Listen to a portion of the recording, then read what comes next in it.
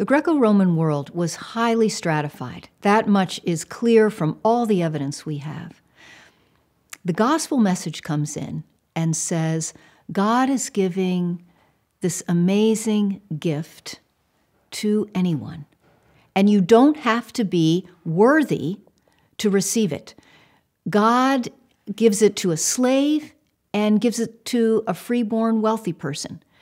That really knocked the foundation out from the Greco Roman society. It took the pins out from the institution of slavery, for example, because the, uh, the institution of slavery was based on the fact that some people just probably innately uh, were best fitted to be slaves and serve other people. And the gospel message said, no, all are equal before God, and God shows no favoritism. There's a very practical example of how the early church worked against the social stratification in the ancient world, and that is Paul's very short letter to Philemon, who is a slave owner. And Philemon's slave, Onesimus, visits Paul in prison and there becomes a Christian. And Paul writes to Philemon and he says to Philemon, I want you to receive Onesimus back, but you're going to receive a different person back.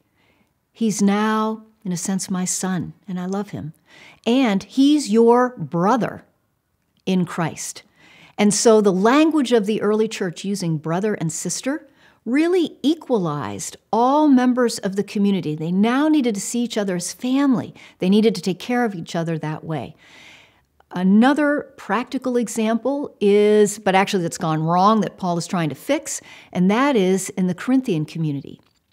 When they would celebrate communion, when they would have their special Christian meal, they would uh, practice just as the Greeks did, where those who were wealthy ate different things than those who were poor. It's not like today where we have uh, potluck where everybody brings something to share.